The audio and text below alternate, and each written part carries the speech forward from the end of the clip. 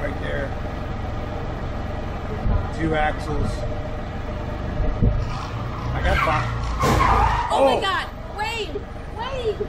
What happened? He, he flipped off his bike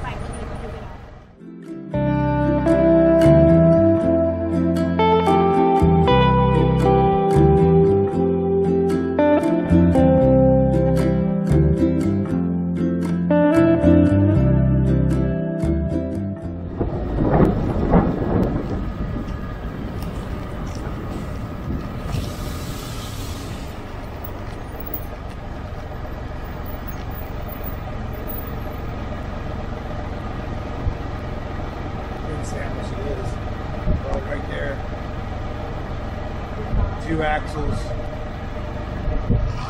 I got five. Oh, my oh. god! Wade! Wade!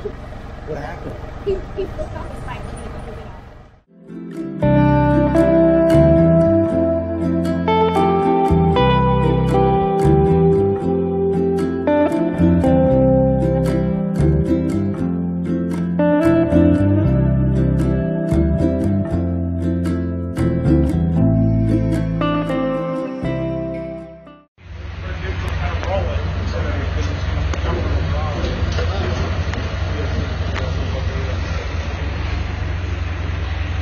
That way we can cut.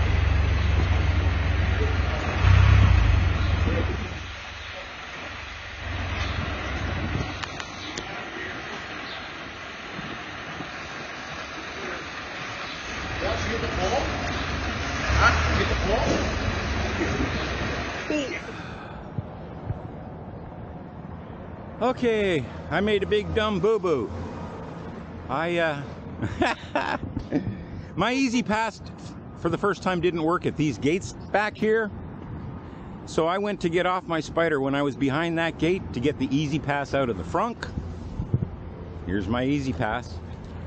And I got off the other side of my Spyder here, but my hand was on the throttle. I hit the throttle and I ended up turning right and I went right into the pole.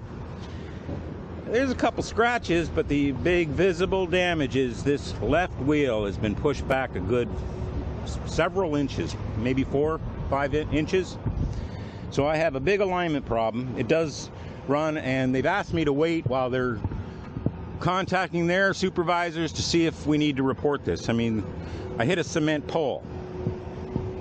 The only thing I did to the cement pole was add a couple more scratches to what was already there. But my poor Spyder here looks like it's going to need some repair. So as soon as they let us go here, we'll be heading back to Canada. I was trying to bring Hettesh World, Bob and Barb into Canada for a scenic tour, and that's not going to happen. Mind you, it, it's scenic Canada. It's scenic here. Scenic with all the trucks and the traffic. Oh well, bad day, but not a too bad of a day. Everybody's fine.